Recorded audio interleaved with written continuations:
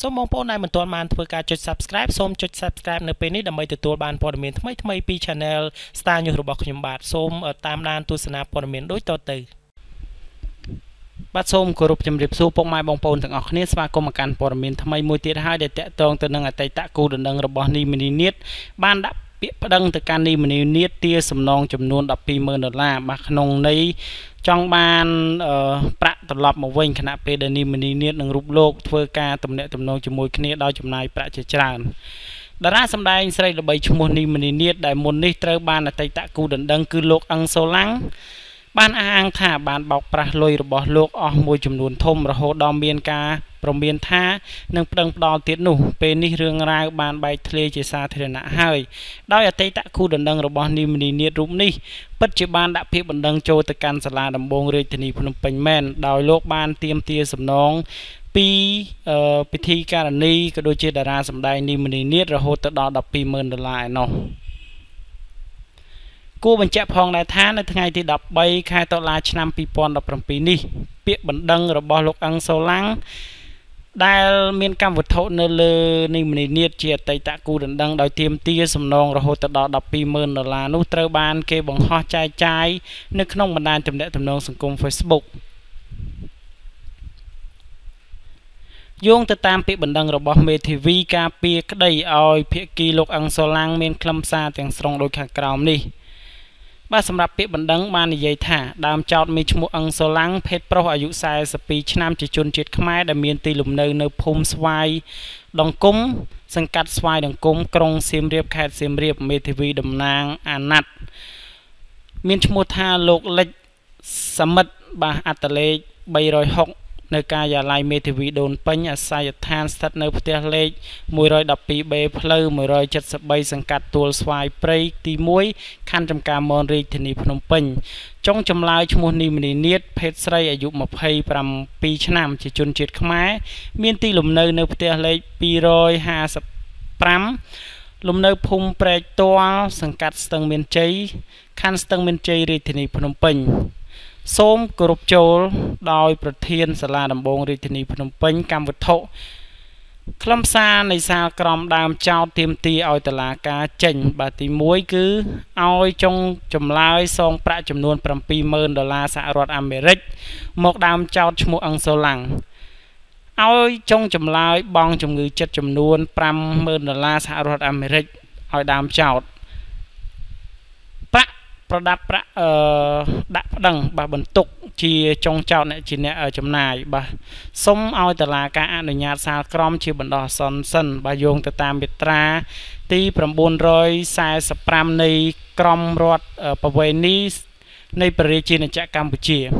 លិខិតប្រគល់សិទ្ធិតំណាងឲ្យអាណត្តិធ្វើនៅថ្ងៃទី29ខែសីហាឆ្នាំ2017របស់លោកអឹងសូឡាំងអង្គហេតុ ជាមូលហេតុចាំបាច់បញ្ជាក់ពីការទៀមទាមានដូចជាដើមចោតមានឈ្មោះអង្គសូឡាំងនិងចុងចម្លើយមានឈ្មោះនីមនីនាតបានស្គាល់គ្នានិងស្រឡាញ់គ្នានៅក្នុងឆ្នាំ2014ដោយព្រមព្រៀងយ៉ាងច្បាស់លាស់ថានឹងយកគ្នាធ្វើជាប្តីប្រពន្ធនៅថ្ងៃអនាគតដើមចោតបានរៀបរាប់ក៏ដូចជារៀបចំកម្មវិធីដោយមានឪពុកម្ដាយទាំងសងខាងបានដឹងឮត្រឹមត្រូវនៅថ្ងៃភ្ជាប់ពាក្យភាគីចុងចម្លើយបានទៀមទាឲ្យកូន ក្តីខ្ញុំបាទពាក់ជូននៅចុងចម្លើយ បាទនៅគ្រឿងអលង្ការដូចជាខ្សែពេជ្រខ្សែកពេជ្រចិញ្ចៀនពេជ្រនិងក្រវិលពេជ្រដែលមានតម្លៃចំនួន37000ដុល្លារកំឡុងពេលឆ្នាំ1000សំទោ2014បាទដល់ឆ្នាំ2017ភាគីចុងចម្លើយបានឲ្យដើមចោតផ្ញើលុយចុងចម្លើយទិញដីនឹងរថយន្តនៅពេលនោះ គិតថាចុងចម្លើយព្រមនឹងធ្វើជាភរិយាស្របច្បាប់របស់ខ្លួននៅថ្ងៃខាងមុខទើបដើមចោតបានផ្ញើប្រាក់តាមប្រព័ន្ធ Western Union របស់ធនាគារ AC Leda ប្រហែលជាង20,000ដុល្លារសហរដ្ឋអាមេរិកនិងតាម MoneyGram របស់ធនាគារកាណាឌីយ៉ាប្រហែលជាង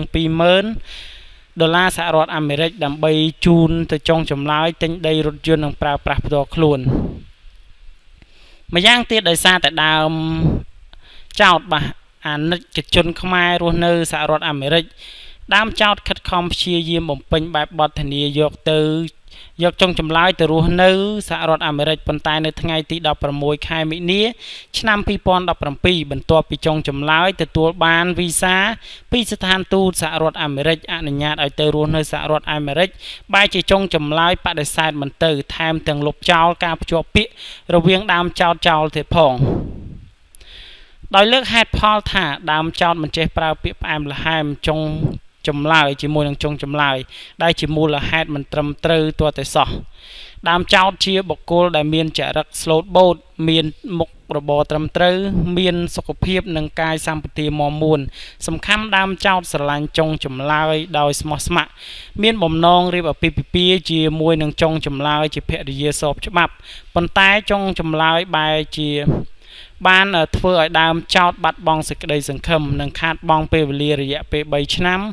នៅក្នុងការរងចាំចុងចម្លើយមកធ្វើជាភរិយា ថែមទាំងបានចំណាយថវិកាអស់ជាច្រើន ដើម្បីបំពេញឯកសារធានាយកចុងចម្លើយទៅរស់នៅសហរដ្ឋអាមេរិកអាស្រ័យហេតុនេះសូមប្រធានមេត្តានិងសម្រេចតាមការទៀមទានៅក្នុងកម្មវិធីខាងលើដោយក្តីអនុគ្រោះ ជុំវិញរឿងរ៉ាវបែកធ្លាយបណ្ដឹងរបស់លោកអឹងសូឡាំងអតីតគូដណ្ដឹងរបស់តារាទឹកភ្នែកនីមនីនាតនេះអ្នកសារព័ត៌មានយើងក៏បានតាក់ទងទៅកាន់សម័យខ្លួនកញ្ញានីមនីនាតកាលពីថ្ងៃទី 13ខែតុលាឆ្នាំ2017ប៉ុន្តែត្រូវបានអ្នកស្រីឌីសុភាលីត្រូវជាម្ដាយបង្កើតរបស់នីមនីនាតបានឆ្លើយជំនួសកូនស្រីយ៉ាងខ្លីថាខ្ញុំអត់បានដឹងរឿងនឹងផង ហើយក៏អត់ទាន់បានឃើញមិនដឹងអ្វីដែរបន្ទាប់មកគាត់ក៏បានចុចបាត់បិទបាត់ទៅ គូបញ្ជាក់ផងដែរថាពាក្យបណ្ដឹងរបស់មេធាវីភាគីខាងដើមបណ្ដឹងលោកអឹងសូឡាំងបានធ្វើឡើងកាលពីថ្ងៃទី28ខែកញ្ញាឆ្នាំ2017កន្លងទៅនិងត្រូវបានដាក់ចូលទៅកាន់សាលាដំបងរាជធានីភ្នំពេញនៅថ្ងៃដដែលនោះទៀតផង។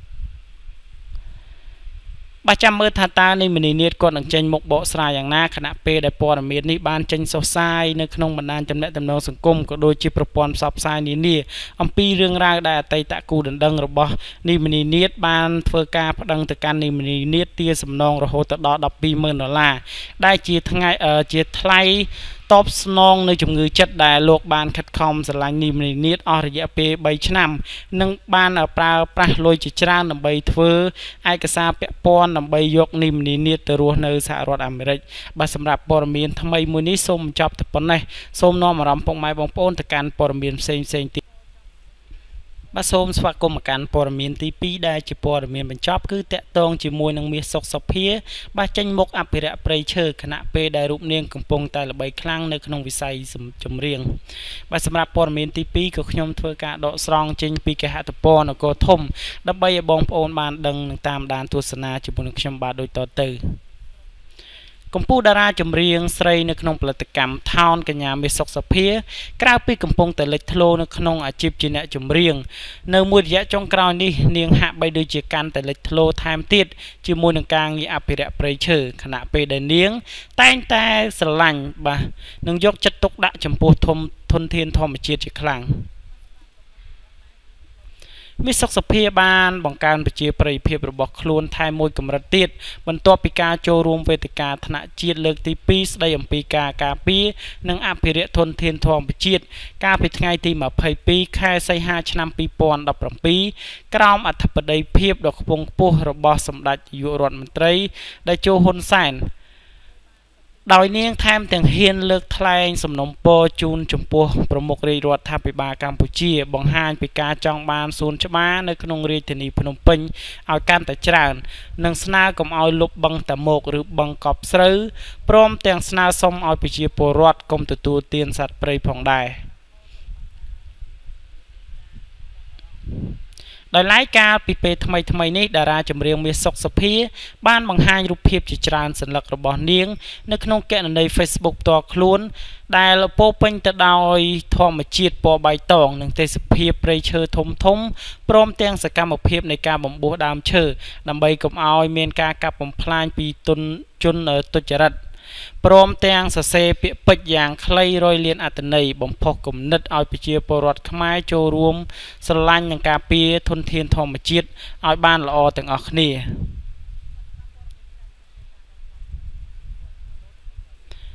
តាមរយៈរូបភាពជាច្រើនសន្លឹកដែលបានបង្ហោះនៅក្នុងគណនី Facebook មេសុកសភា បានផ្ដិតយកទេសភាពព្រៃឈើដ៏ស្រស់ស្អាតជាមួយនឹងមេឃពណ៌ខៀវស្រងាត់នៅក្នុងតំបន់ព្រៃនៃខេត្តកំពង់ធំ ការបង្ហាញរបស់តារាចម្រៀងស្រីរូបនេះបានធ្វើក្នុងគោលបំណងចង់ឲ្យអ្នកចំនួនក្រោយចូលរួមអភិរក្សព្រៃឈើការការពារព្រៃឈើនិងចេះស្រឡាញ់ថែរក្សាព្រៃឈើឲ្យនៅតែគង់វង្សយូរអង្វែងពីព្រោះថាព្រៃឈើមានអត្ថប្រយោជន៍ជាច្រើនសម្រាប់សុខភាពមនុស្សជាពិសេសទៅទៀតនោះគឺវាផ្ដល់អុកស៊ីហ្សែនល្អបំផុតបាទសម្រាប់មនុស្សនិងសត្វស្រូបយកខ្យល់ដង្ហើមបានយ៉ាងល្អផងដែរ។ បាទនេះជារូបភាពបាទបំពោះព្រៃឈើរបស់មេសុកសុភា